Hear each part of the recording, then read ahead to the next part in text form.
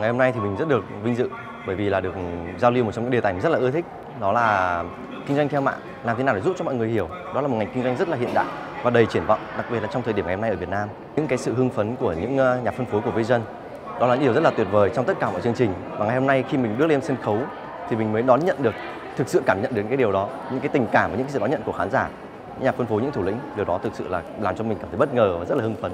Tập đoàn sẽ tổ chức ra những chương trình mà chúng ta hoàn toàn có thể tham dự được chúng ta gặp được những người thành công nhất, thậm chí là thành công nhất trên thế giới. Và họ đã trải qua tất cả những cái khó khăn rồi. Họ đã biết tất cả những cái cách thức để khắc phục những cái thử thách đó rồi. Và trong những cái chương trình như vậy thì họ sẽ lại chia sẻ lại tất cả những kinh nghiệm của mình. Nếu như, nếu mà chúng ta có mặt ở trong những cái sự kiện như vậy, đặc biệt là một chương trình VIP Forum thì có phải là chúng ta sẽ thu ngắn được rất là nhiều những cái thời gian chúng ta cần phải trả giá cho doanh nghiệp của mình, đúng không ạ? Chúng ta sẽ ngay lập tức biết được những cách thức để xây dựng làm sao có được một cái doanh nghiệp nó bền vững hơn.